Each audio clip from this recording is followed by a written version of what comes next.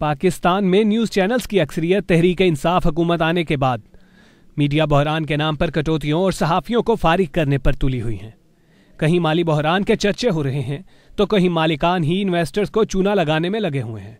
Media industry का सबसे बड़ा स्कैंडल आप न्यूज़ में सामने आया है, जिसका ऑडिट फाइनल हो गया है।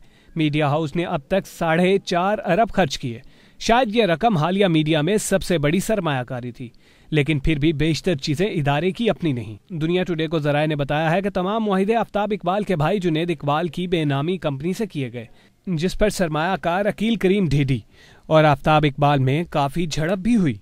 जराये के मुताबिक कंपनी में निन्यानवे ऐसे लोग हैं, जो बराह रास्त आफ्ताब या जुनेद के रिश्तेदार हैं, जैसे साले और सालियाँ वगैरह। जिन्हें मुख्तलिफ़ शोबाजात में रखा गया है। एक खातून को खातन के मसाइल हल करने के लिए भी रखा गया है। उस खातून का जुनेद इकबाल से ताल्लुक है। क्योंकि जब जुनेद लाहौर आए तो उन्हें उनके एक दोस्त ने अपने घर में जगह दी, जहाँ वो अपना यूट्यूब चैनल चलाते थे। उसी दोस्ती का एहसान वापस करने के लिए उनकी बीवी को नौकरी दी गई। जराये के मुताबिक ऐसे बहुत से मजीद घपले भी सामने आए। जैसे उनकी भतीजी एंकर की तनख्वाह, एक लाख और बेटी की तनख्वाह आठ लाख। एडमिन में शामिल फुफा और उनके बेटे की तनख्वाह भी लाखों में है। हैरान कन बात है कि इस नौकरी से पहले ये तमाम लोग फारिग थे। ऐसे ही जुनेद इकबाल का मॉडल टाउन में घर और आफ्ताब के फार्म हाउस में नौकरों की तनख्वाह भी इदारा ही अदा करता है।